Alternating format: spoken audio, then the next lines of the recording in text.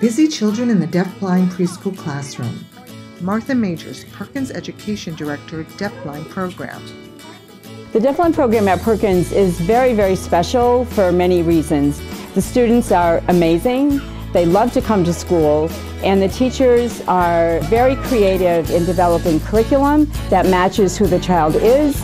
And so every day when the teachers arrive at school, they are amazingly compassionate and many, many hours are spent just being with that child, developing a sense of trust.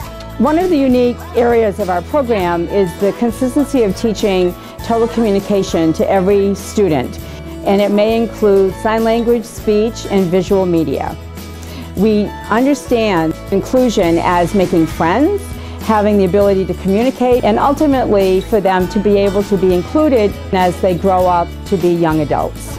The Deafblind program values the idea that all children have a right to an education and we know that they all have the ability to learn. Text on screen Perkins School for the Blind to learn more and support Perkins. Go to perkins.org slash get involved.